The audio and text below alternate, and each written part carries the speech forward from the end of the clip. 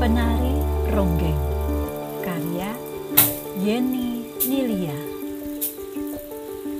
Pinjami aku ketegaran agar dapat ku mencacah kata tanpa air mata. Ketika lagi-lagi tanya mampir pada mata yang sembab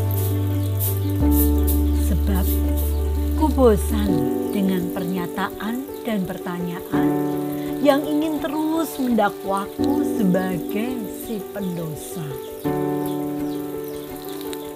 Izinkan aku untuk membangun kondominium kebangkitan atas hidupku sendiri.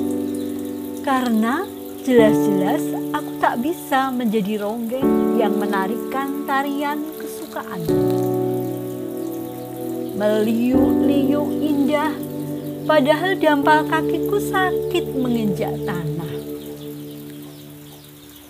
Aku ingin lari sebelum kenduri usai, meninggalkan tetamu yang menjejali ruangan.